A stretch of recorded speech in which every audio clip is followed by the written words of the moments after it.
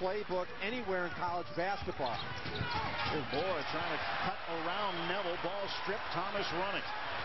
Give to Gay. Behind the line for three. Hits. Points hard to come by in the early going. DJ Gay gets around Green. Back for Amoroso. He'll shoot it from three. And he hits.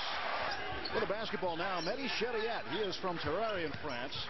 Transfer from Arizona Western and Kyle Spain. Here's Kepkay. He played against some pretty good competition this summer. And Shaun Green for three. Luka Drca with the basketball. He'll pull up and shoot from long range, and he hits a three. San Diego State playing for that final shot. Ryan Amoroso hits the three.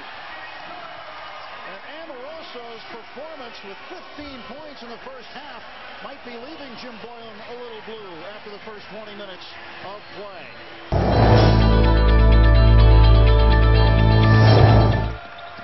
White now with eight points. And Nevill had it picked away. Richie Williams speeding to the basket and scores.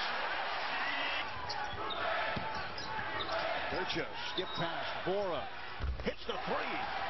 Billy White drops it off for Spain. Reverse lay-in good. Oh, what a play, Kyle Spain. San Diego State working that shot clock, and DJ Gay with a step-back jumper. Kepkay handling the ball, giving it off to Green. He'll launch for three, and he hits.